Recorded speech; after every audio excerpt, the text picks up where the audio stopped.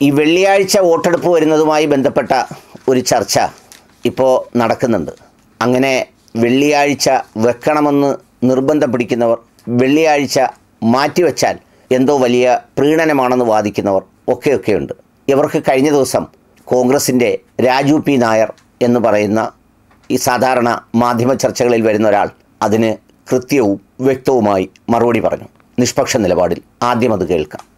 തെരഞ്ഞെടുപ്പ് ദിവസങ്ങളിൽ പരമാവധി ആൾക്കാരെ ബൂത്തിലേക്ക് എത്തിക്കുക എന്നുള്ളത് നമ്മുടെ പരമപ്രധാനമായ ലക്ഷ്യം. അത് മുൻകൂട്ടി വെച്ചുകൊണ്ട് തന്നെ പ്രൈവറ്റ് സ്ഥാപനങ്ങളിൽ അവധി കൊടുക്കണം എന്ന് ജില്ലാ കളക്ടർ ആ, ഉ- ഉ- ഉ- ആ, ആ, ഉത്തരവ് ഇറക്കാറുണ്ട് അത് വേണമെങ്കിൽ രാവിലെ വോട്ട് ചെയ്ത് അവർ വരട്ടെ എന്ന് പറഞ്ഞ് തീരുമാനിക്കുന്ന കാര്യമുള്ളൂ. അതല്ല.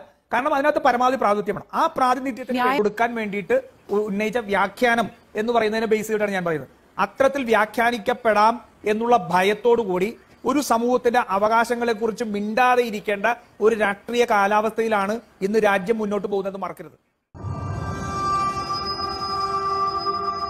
അതിനകത്ത് അദ്ദേഹം ഇടതുപക്ഷത്തിന്റെ രാഷ്ട്രീയമൊക്കെ പറഞ്ഞിട്ടുണ്ട്. അത് രാഷ്ട്രീയ നിലപാടുകൾ. ഇതിലൊരു പൊതുസംഗതി ഉള്ളത് അദ്ദേഹം സൂചിപ്പിക്കുന്നത് പോലെ ഈ ജനാധിപത്യ പ്രക്രിയയിൽ പരമാവധി ആളുകൾ പങ്കെടുക്കുക എന്നുള്ളതാണ്. അതൊരു പുതുമയുള്ള കാര്യമൊന്നുമല്ല. ഇപ്പോൾ ഞങ്ങളുടെ നാട്ടിൻപുറങ്ങളിലൊക്കെ ഈ ഹെട്രോജീനസ് ആയിട്ടുള്ള ഒരു സ്ഥലമാണല്ലോ തെക്കൻ കേരളം. ഈ നോമ്പ് കാലങ്ങളിൽ ഈ എന്താ പറയുന്നത് പുരവാസ്തോലി അല്ലെങ്കിൽ ഹൗസ് വാമിങ് കല്യാണങ്ങൾ ഇതൊക്കെ വളരെ കുറവായിരിക്കും. അത് കുറവാകാനുള്ള കാരണം എന്താ? രണ്ട് കാരണങ്ങളാണ്. ഒന്ന് പൊതുവിൽ ഈ പറയുന്നത് പോലെ ഇനി മാസത്തിന്റെ എന്തെങ്കിലും പ്രത്യേകതകൾ ഉണ്ടാകാം. പിന്നൊരു പ്രധാനപ്പെട്ട കാര്യം എന്ന് പറയുന്നത് ഈ മറ്റ് മുസ്ലിം സമൂഹത്തിൽപ്പെട്ട ആളുകൾ ഈ നോമ്പ് കാലമായതുകൊണ്ട് അധികം ഇതിൽ പങ്കെടുക്കില്ല എന്ന് പറയുന്ന ഒരു ചിന്തയുണ്ട്. അത് പ്രബലമായ രീതിയിലുണ്ട്. കാരണം ഇവിടെയൊക്കെയുള്ള ഈ ഹൗസ് വാമിങ് അതുപോലെയുള്ള ചടങ്ങുകളിലൊക്കെ രണ്ട് കാര്യങ്ങളുണ്ട്. ഒന്ന് പാർട്ടിസിപ്പേഷൻ പോലെ തന്നെ ഒരു ഫിനാൻഷ്യൽ സപ്പോർട്ടിന്റെ ആംഗിളും കൂടിയുണ്ട്. അപ്പം നോമ്പ് മാസമാകുമ്പോൾ ഈ നോമ്പായിരിക്കും പകൽ പിന്നെ സന്ധ്യയായി കഴിഞ്ഞാൽ ഈ പറയുന്ന എന്താ പറയുന്നത് പിന്നെ പിന്നെ പള്ളിയിലും മറ്റുള്ള കാര്യങ്ങളൊക്കെ ആയിരിക്കും. അതൊന്നും വർഗീയതയല്ലല്ലോ. സാമൂഹ്യ യാഥാർത്ഥ്യങ്ങളല്ലേ.